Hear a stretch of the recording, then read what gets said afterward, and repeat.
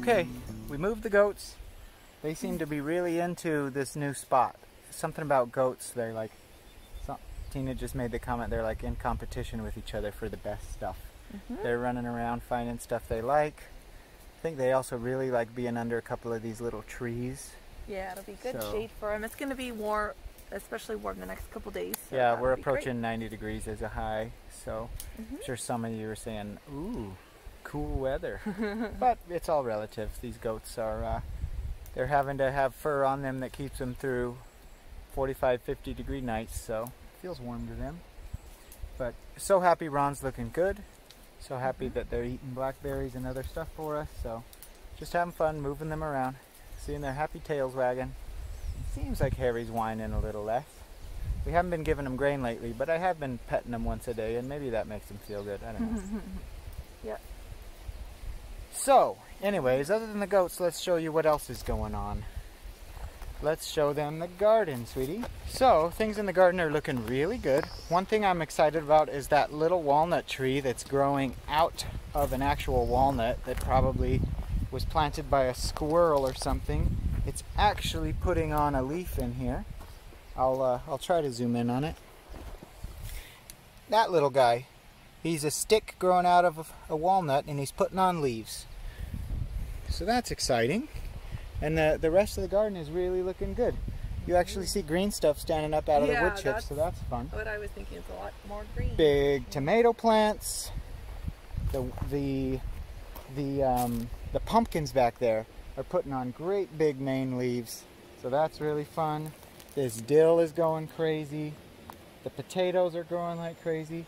Just lots of good looking stuff, so that's fun. Really enjoying it. So that's the garden and what's going on in the garden. The other big thing is yesterday we bought a mower and a box scraper. So they're sitting over here in this center island off of the yurt.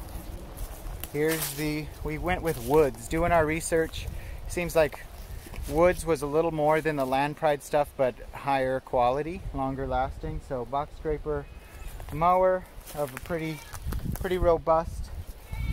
So, would love to be running around with this stuff, but it's just gonna sit here for a few days or a week because the other thing is that Garrett just got here an hour or two ago. So starting tomorrow for the next five days is big, uh, big project work. So we're shifting gears. Glad that the goats are sorted, the chickens are sorted. You know that's.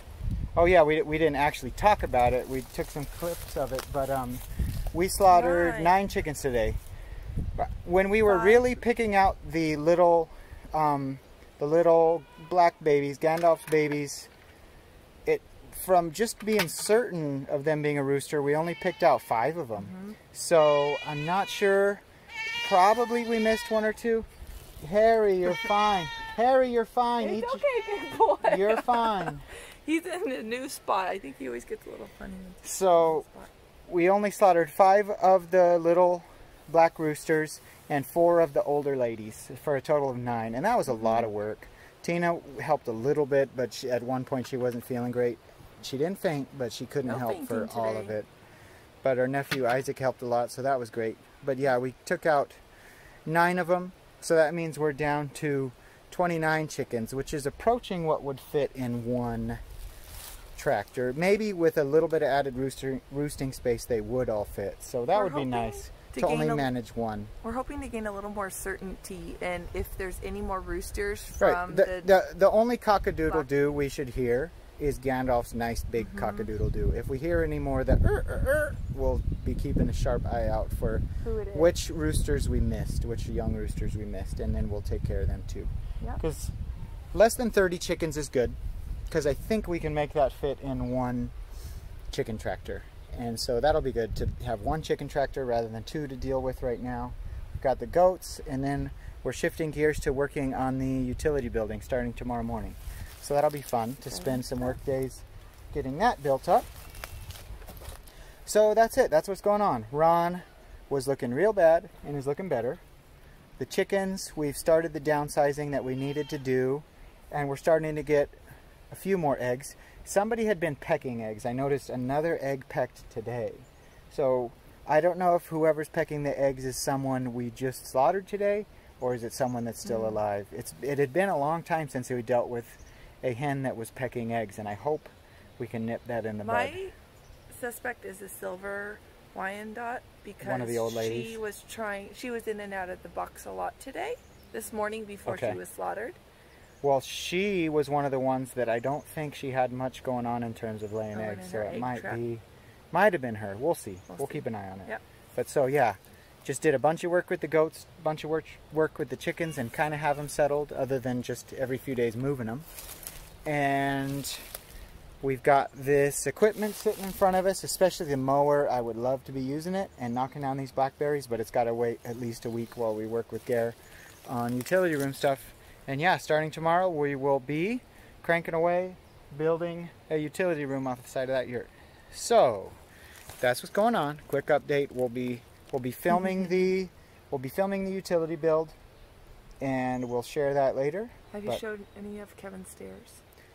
Uh, I took a little bit of film. Yeah, our family, Kevin and Anna, have done kind of um, state park style stairs building, and it's so cool. It was their idea, and it looks awesome. We're so glad they were doing Uh-huh. it. They did a little bit near the shop, and then a big length of it off the uh, between the yurt and the creek. Where when you want to walk to the creek, the shortest direction there has quite a steep hill, and they put a um, some stairs there. But yeah, I'll just walk over there right now to show it. Well, we can walk down it together. Looks so good. Seen it over there yet. Tina hasn't seen it. Let's go see our new stairs.